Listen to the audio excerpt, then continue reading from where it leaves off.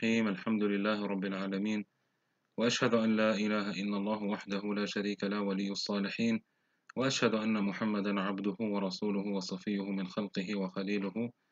أما بعد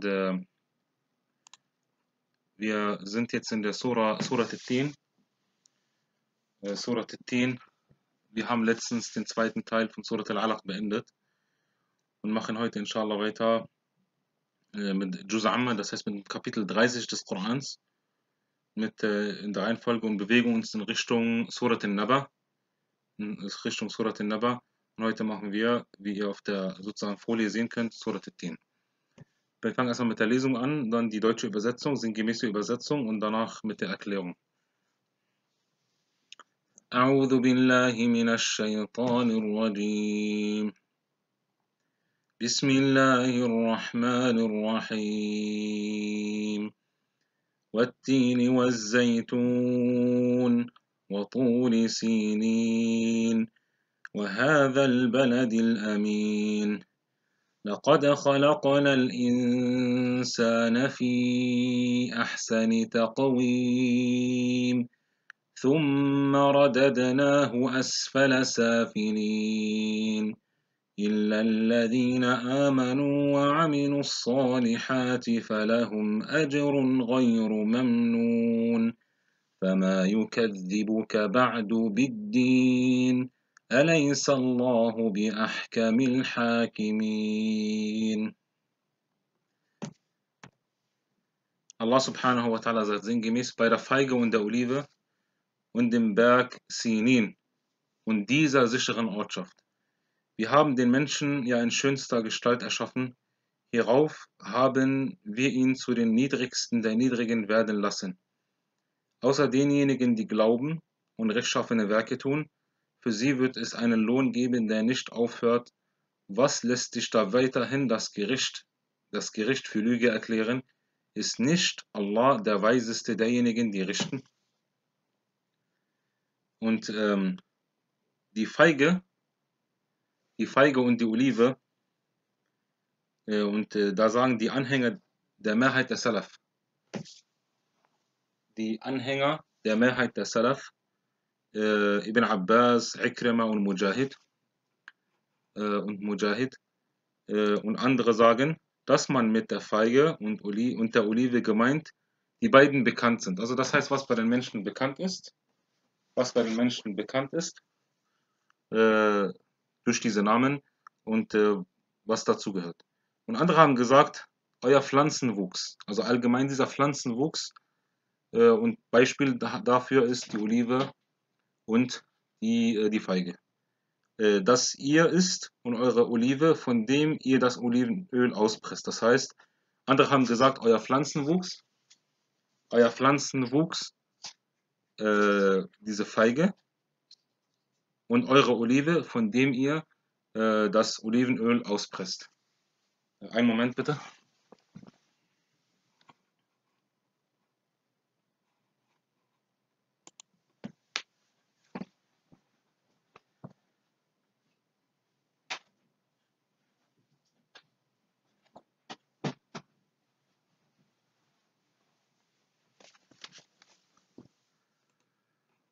Also, ähm, diese, äh, diese Olive, worauf Allah subhanahu wa ta'ala schwört, worauf Allah subhanahu wa ta'ala schwört in dieser Surah, äh, und der Feige, worauf Allah subhanahu wa ta'ala auch schwört, ähm, genau, äh, beziehungsweise der sicheren Ortschaft und den Berg Sinin, das ist ein bedeutsamer Schwur. Das sind von den Schwüren Allah subhanahu wa ta'ala, haben ist er, indem er darin auf vier Dinge schwört und diese sind diese vier, die wir gerade genannt haben. Und die Grundlage ist, dass Allah subhanahu wa ta'ala schwören kann, äh, auf was er möchte. Jedoch wir dürfen nur bei ihm seine Namen und seinen Eigenschaften schwören. Und das ist das, äh, das ist das, was Bekannte bei Ahl Sunnah wal, Ahl Sunnah wal Jama'a. Und derjenige, der etwas bei anderem schwört, außer Allah subhanahu wa ta'ala, seine Namen und seine Eigenschaften, der ist, äh, der macht, der macht einen Schirk, sozusagen, da macht eine Beigesellung eine große Sünde bei Allah subhanahu wa ta'ala. Und der Prophet sallallahu alaihi wasallam hat verboten, bei etwas anderem zu schwören, außer bei Allah azza wa jal. Was Allah subhanahu wa ta'ala einbetrifft, so schwört er auf was er möchte. Diese Surah, Surat At-Tin, ist eine mechanische Surah. Ist eine mechanische Surah bedeutet, dass sie vor der Auswanderung, Auswanderung des Propheten sallallahu alaihi wasallam herabgekommen ist, ja, äh, wie es nach der, nach der Ansicht der Mehrheit der Gelehrten, was mechanisch und was medinensisch ist, so ist diese Surah vor der Auswanderung herabgekommen. Diese Schwüre, die Allah subhanahu wa ta'ala hier macht, erstens die Feige, und das ist natürlich die bekannte Feige, Attin, eine Frucht, die am ähnlichsten zu den Früchten des Paradieses ist, weil sie kernlos ist. Weil sie kernlos ist. Und die Früchte des Paradieses werden als kernlos bezeichnet äh, oder beschrieben. Zweitens die Olive. Und die Olive, also Seitun, äh, hat sozusagen viele Nutzen und davon, davon wird gegessen, davon wird eingeschmiert und auch als Medizin eingenommen. Der Berg Sinin, das ist der Berg in, in, in, in Palästina, in Palästin, wo sozusagen, worin das größte Ereignis der Lebensgeschichte stattgefunden hat.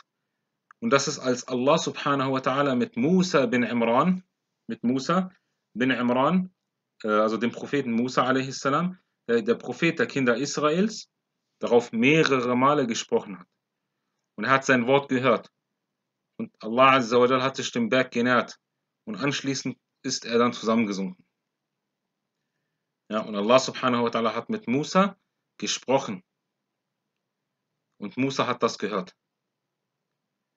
Und viertens, bei Mekka, diese sichere Ortschaft, damit ist, die Mek damit ist Mekka gemeint. Die Mutter der Städte, wobei die Erde unter ihr hinge hingebreitet wurde und ihr das Haus Allah subhanahu wa ta'ala sich befindet und darum, darum herum äh, seine heilige Stätte. Und Mekka ist bekannt. Diese dieses ist ein gewaltiger Schwur. Allah subhanahu wa ta'ala schwört bei diesen vier Dingen. Und die Antwort auf diesen Schwur ist was? Wir haben ja den Menschen ja in schönster Gestalt erschaffen. Hierauf haben wir ihn zu den Niedrigsten der Niedrigen werden lassen. Außer denjenigen, die glauben und rechtschaffene Werke tun, für sie wird es einen Lohn geben, der nicht aufhört, äh, der nicht aufhört. Und äh, Subhanallah, diese, diese Antwort auf diesen Schwur beinhaltet, beinhaltet die größten äh, Erscheinungen oder Klar, Klarheiten der Fähigkeit des Wissens und der Barmherzigkeit Allah subhanahu wa ta'ala. Und was erfordert sie? Also wenn sie, auf, wenn sie darauf hindeutet, auf die Fähigkeit, das Wissen und der Barmherzigkeit Allah subhanahu wa ta'ala, was ist die Folge daraus? Die Folge ist der Glaube an Allah subhanahu wa ta'ala einzig und allein an seine Einzigartigkeit und auf sein Treffen, dass man zu ihm zurückkehren wird. Und was haben aber die Mekka, die Bewohner in Mekka für einen Glauben gehabt? Also was war ihre Aqidah?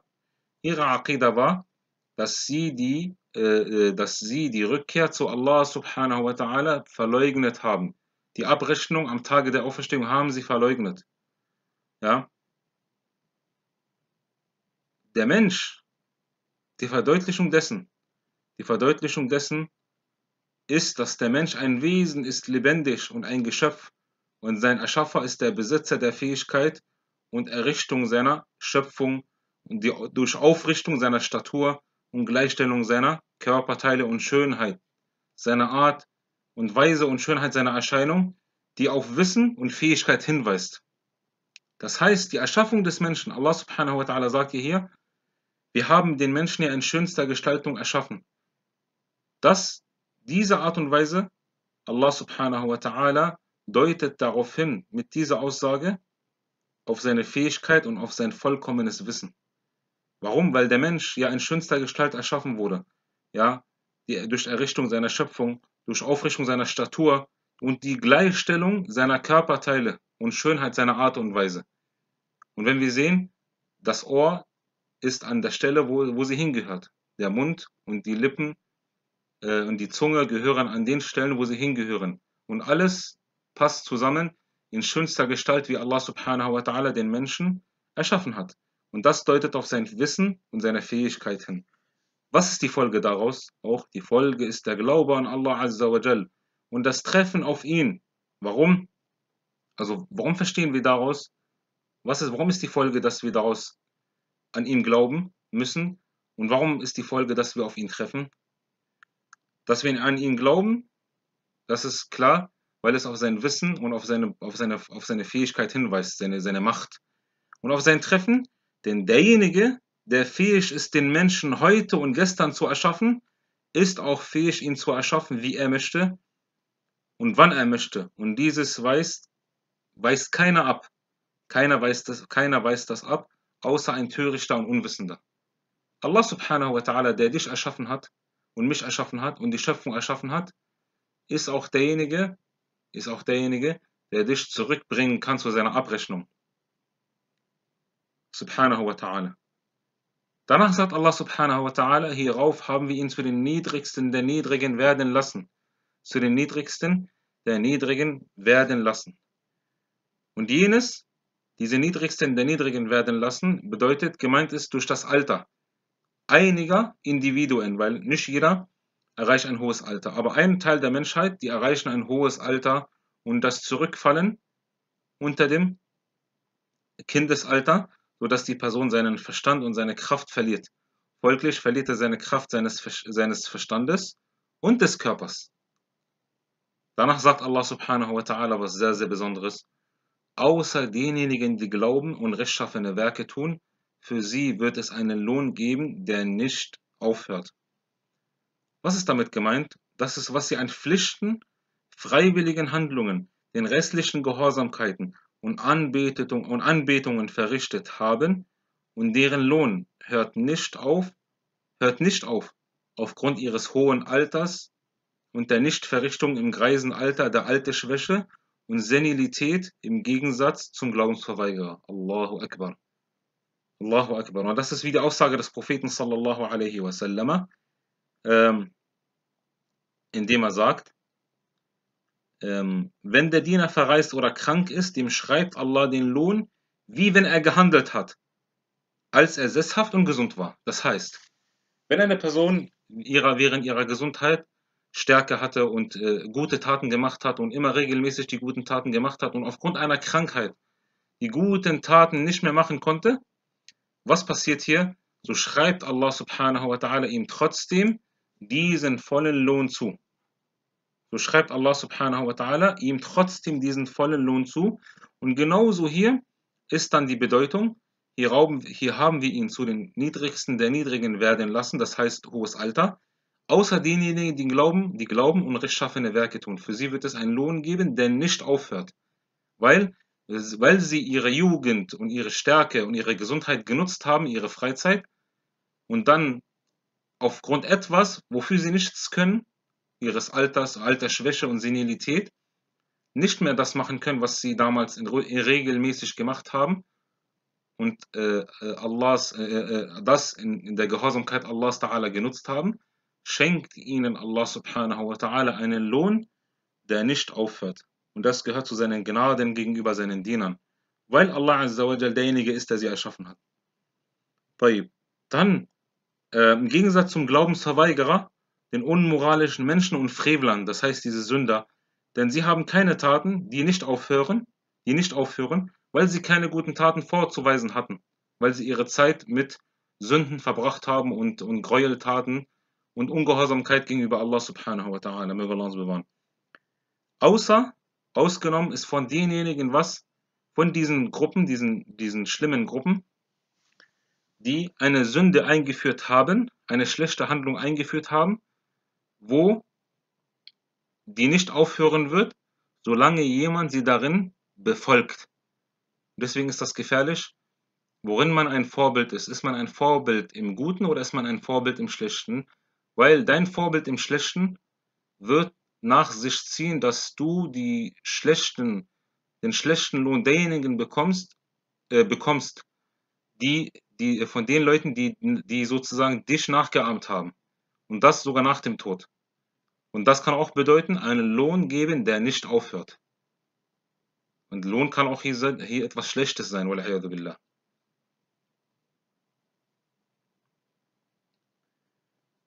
طيب. Allah subhanahu wa ta'ala sagt danach, was lässt dich da weiterhin das Gericht für Lüge erklären? Nämlich, wer ist fähig, dich zu verleugnen, o unser Gesandter? O unser Gesandter. Nach diesen Zeichen, Argumenten und Beweisen, die auf die Fähigkeit Allahs Azzawajal, sein Wissen, seine Barmherzigkeit und seine Weisheit hinweisen, und wer die Rückkehr und die Belohnung für die Taten, die man freiwillig in diesem Leben von Guten und Schlechten entschieden hat, verleugnet, auch wenn er das Gericht für Lüge erklärt. Und das ist die jenseitige, das heißt, diese, dieses Gericht für Lüge erklärt, was natürlich die jenseitige Belohnung beinhaltet, entsprechend den Handlungen im, im Diesseits. So ist diese Verleugnung von dieser Person, die dieses Gericht verleugnet, den jüngsten Tag, auf der Grundlage der Sturheit und des Hochmuts aufgebaut. Denn die Argumente, denn die Argumente, die auf den Tag des Gerichts und der Belohnung veranlasst, denjenigen, der es verleugnet, hochmütig oder verleugnen zu sein und nichts anderes. Weil die, die Zeichen, die Argumente, die Allah uns hinterlassen hat, sind klar und deutlich. Genauso die Sachen, die auf seine Existenz hinweisen. Subhanahu wa ta'ala. Und diese Ansprache, was lässt dich wissen? Oder was lässt dich da weiterhin das Gericht für Lüge erklären? Es kann auch eine Ansprache an Kuffar sein. Ja, an Kuffar sein, äh, als Tadel für ihn, als Tadel und zwangsweise für den Beweis. Ja? Warum? Nämlich, was ist die Bedeutung hinter dieser Frage? Nämlich, wenn du weißt, o oh du Mensch, dass Allah dich in schönster Gestalt erschaffen hat und dass er dich ins niedrigste Alter zurückschickt, was lässt dich denn weiterhin, dass du verleugnest? Und darauf basierend ist die Frage auch tadelnd. Also was lässt dich denn weiterhin, nachdem du das gehört, hat, alle, gehört hast alles, dass er dich in schönster Gestalt erschaffen hat, dich wieder zurückbringt ins hohe Alter, was lässt dich da weiterhin Allahs, äh, dem, das Gericht für Lüge erklären? Diese Rückkehr. Taib. Aus, die Aussage Allahs Azza wa am Ende ist nicht Allah der Weiseste derjenigen, die richten. Und äh, die Frage darauf ist was? Gewiss doch. Allah ist derjenige, der Weiseste derjenigen, die richten. Denn es gibt nichts, der gerechter, der gerechter ist als Allah und ein besseres Urteil besitzt als Allahs Urteil. Wie kann er vermuten, dass wenn die Menschen handeln, dass wenn die Menschen handeln, dass sie unterschiedlich in ihren Handlungen in diesem Diesseits sind, anschließend sterben, sie alle und keine Abrechnung findet. Also die Menschen haben unterschiedliche Handlungen. Der eine macht gute Taten, der andere macht schlechte Taten. Wie kann wie ist die Logik, der Verstand, die Vernunft? Wie kann, das, wie kann sie das mit, mit diesem Gedanken vereinbaren? Ja, dass es danach keine Abrechnung gibt mit der Belohnung und auch nicht mit der Strafe. Und dies gehört tatsächlich zur Ungerechtigkeit, Falschheit und Abscheulichkeit. Der Herr wird davon frei gesprochen, denn die Angelegenheit der jenseitigen Rückkehr akzeptiert keine Diskussion und keinen Streit in keinem Fall der Fälle. Also dieses Thema ist, ist das Gericht, existiert dies, der jüngste Tag, die Abrechnung ja oder nein? Das, das ist, da gibt es keinen Anlass zur Debatte. Warum? Weil der Verstand und die Vernunft deutet darauf hin, deutet darauf hin, dass die absolute Gerechtigkeit herrschen wird und das Yom al-Qiyamah. Und aufgrund dessen der unterschiedlichen Handlungen der Menschen, die sie vollziehen. Und äh, was Besonderes noch ein, ein kleiner Anlass oder beziehungsweise eine kleine Information.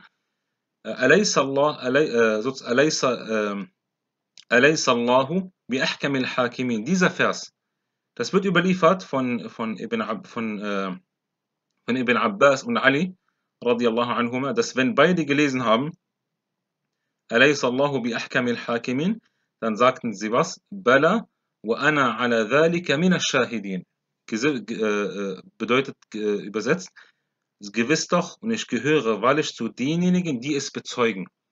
Und deswegen kann man das auch innerhalb des Gebets sagen, wenn der Imam liest, bi ahkamil hakimin, dass man sagt, dass man sagt, Bala wa ana ala dhalika min shahidin Unterschiedlich, ob das jetzt ein Pflichtgebet ist oder ob, ob es ein freiwilliges, freiwilliges Gebet ist, so gehört es zu den Aussagen, die man im Gebet tätigen darf, wie es jetzt hier auch, äh, wie es auch von den Salaf so überliefert wurde, von Ibn Abbas und Ali, dass wenn dieses gelesen wurde, dass die das gesagt haben.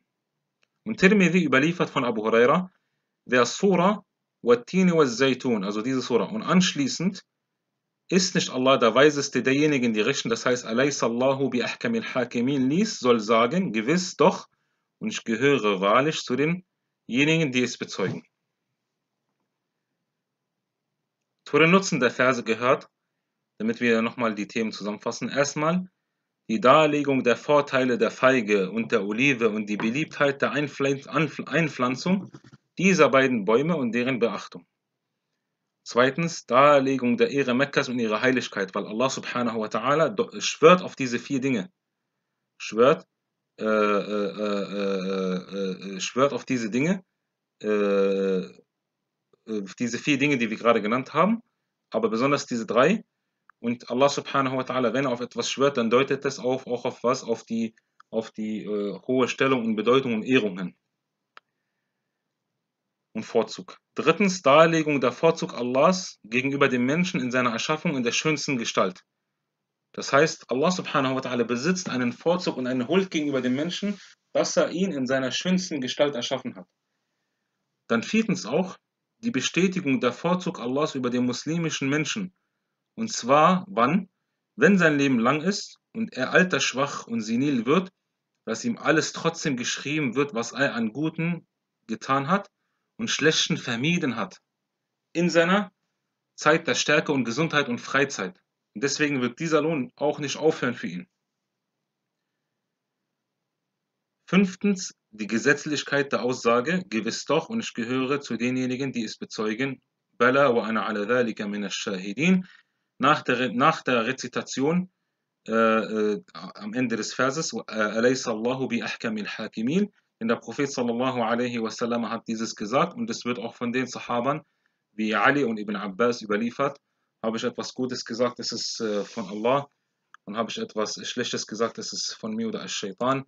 سبحانك اللهم وبحمدك أشهد أن لا إله إلا أنت أستغفرك وأتوب إليك